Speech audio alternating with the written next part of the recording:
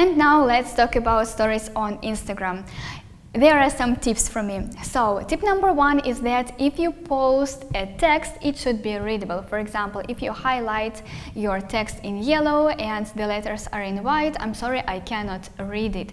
So make sure that your text is readable. Next one is that there should be a call to an action.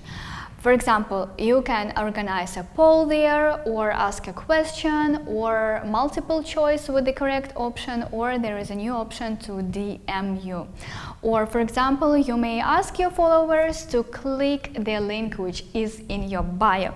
The next one is that your story should not be too personal. It may be personal, but not too personal. You should define a boundary between a personal post and uh, too personal. It's all up to you. Uh, the next one is that if you use a picture, the author must be mentioned because this is not your picture. Uh, also, your post should be, I mean, the, the story should be friendly and not in an angry manner.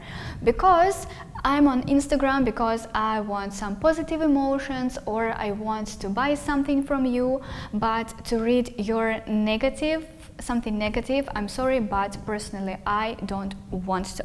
And the last one is that uh, check if it is a video, please check the sounds of the video if you can be heard properly.